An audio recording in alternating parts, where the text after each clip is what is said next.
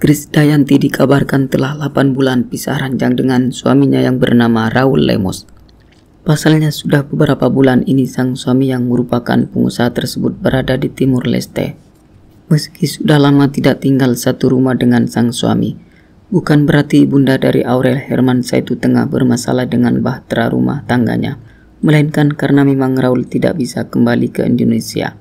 Suatu hal yang membuatnya jadi pisah ranjang adalah karena pria 51 tahun itu terhalang kebijakan pemerintah terkait pandemi COVID-19. Sehingga dengan demikian untuk sementara waktu dirinya harus tinggal di tanah kelahirannya. Menurut pengakuan dari Kris Dayanti, biasanya sang suami satu minggu sekali pulang ke Indonesia.